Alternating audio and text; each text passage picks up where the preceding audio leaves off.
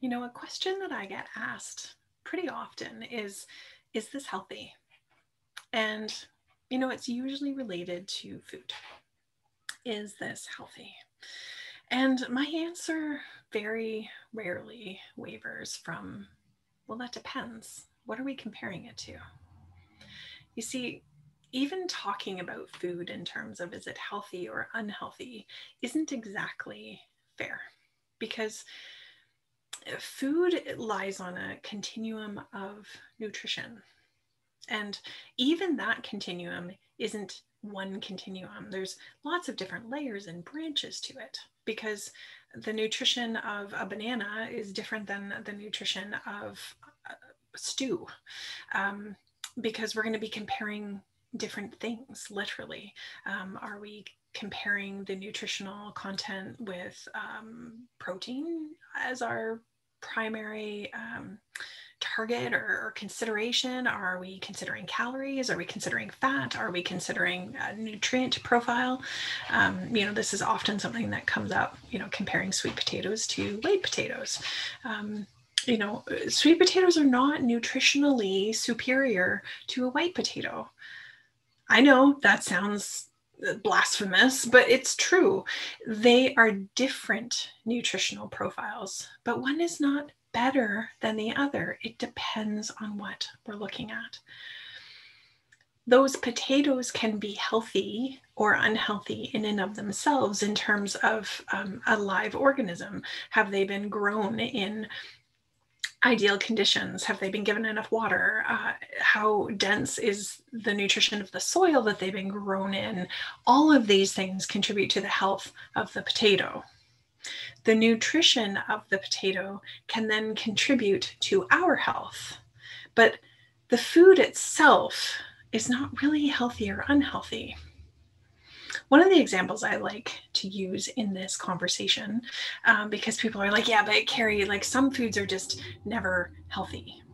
And again, we have to keep in the context of compared to what. So if we are going to compare eggs, we're going to talk about Easter eggs, chocolate, and we're going to talk about chicken eggs, not chocolate. Most people would certainly say, well, Kerri, that's a no brainer. The egg, the chicken egg, is definitely a, the healthier option. Well, what about those of us who can't eat eggs, chicken eggs, without side effects? You see, I love egg. I love both kinds of eggs. They're both delicious and high on my list of loving those foods. But if I eat the chicken egg, I am going to experience a rash and I am also going to experience some pretty funky digestive sim- symptoms. and the people around me um, are going to suffer from me eating that egg also. So, is that egg healthier for me than eating the chocolate egg? Well, I'm going to argue no, because if I eat the chocolate egg, all I get to experience is pleasure.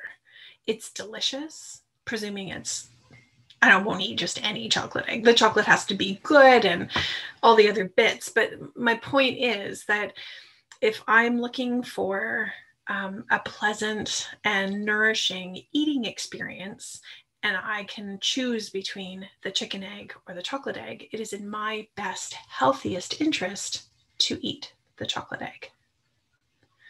Let's do another example. Let's say we are comparing a home cooked, I don't know, vegetable stir fry over a bed of, I don't know, let's say quinoa, because most people, I don't, personally don't like quinoa, but it doesn't, it tends to be what everyone considers to be healthy right now. So just roll with me on this. Uh, I don't know, maybe there's some lean meats or maybe there's some vegetable based protein in there. And so this is the family dinner. And we're going to compare that to stopping at McDonald's. Well, again, it feels like a no brainer, right? Well, of course you should do the home cooked meal. But then let's bring in the let's compare.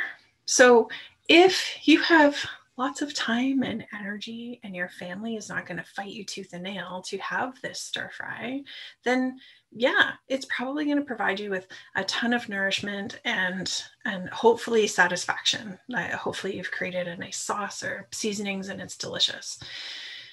If, however, you are working and you are traveling, um, commuting is the word I'm looking for.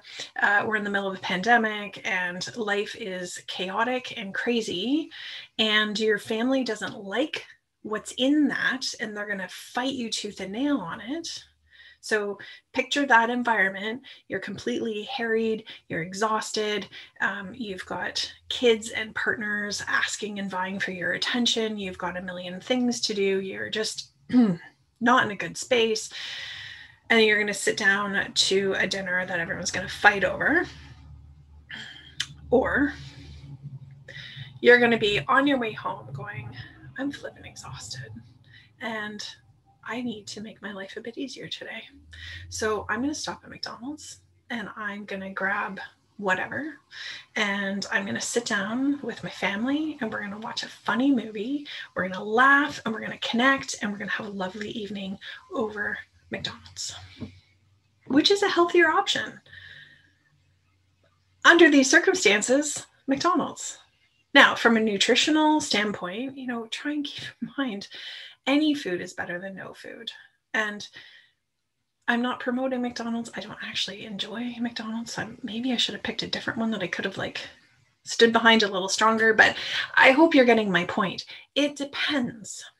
So whether or not something is healthy or health promoting. It just depends on so many circumstances. And we seem to have lost sight that nutrition and health and fitness are continuums. And it varies day by day as to what is in your best interest, what is in your family's best interest, and what is going to provide you with peace and comfort and nourishment. And nourishment is so much more than nutrients it is the experience of eating. And there's some interesting research around um, what we absorb and how our body handles food when we're genuinely enjoying it um, and have unconditional permission to eat it. It's really rather interesting stuff. Um, but anyways, so that is that is my answer to the question: Is this healthy or not? And I would encourage you to exhale and remember that what we eat is such a tiny piece of the health pie. Why we eat, how we eat, who we eat with um, is a little bit bigger, but still a very small piece of the health pie. Our um, our relationships, our connections, our happiness, our um, our rest, our all these things contribute to our health so much more.